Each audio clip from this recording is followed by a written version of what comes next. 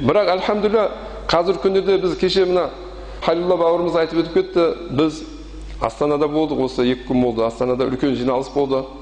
Республикалық ақпараттық насихат тобы мүшелерінің отыз бір мүшесін сол жерге шақырды. Мен емханада болсам да мүфти хазірет айтқаны үшін бардым сол жерге өзіңіз келіңіз деп. Қазіргі күнде мәдениет және спорт министрлігіне кірді біздің жаңағыдегі дін саласы yani діни комитетіміз. Соның несі вице министрі марат әзілханов ағамыз отырды.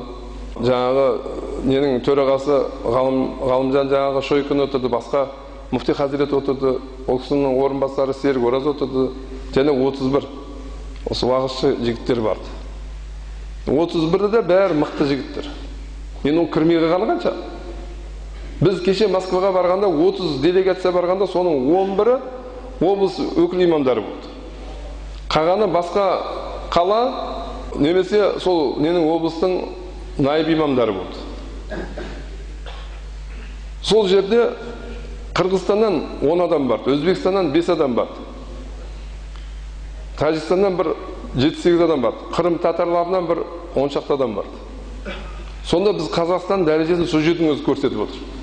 Бүкіл татарларымыз сол ресейдің татарлары қазақстан көп алға кетіп қалдыңыздар сіздер деп жатыр.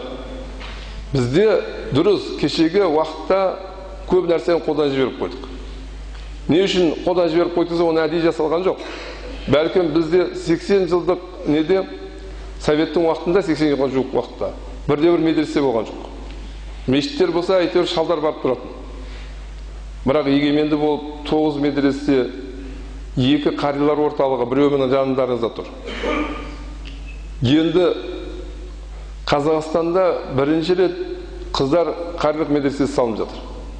Оған құрметті жамағат мен айтарым әрқайсыңыз қолдарыңыздан келгенше көмектеріңізді көрсетіңіздер. Бәріміз көмегімізді көрсетуіміз керек. Қанша кім шамасы жетеді?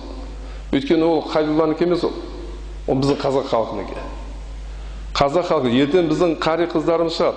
Аналар түзелетін болса ел түзеледі.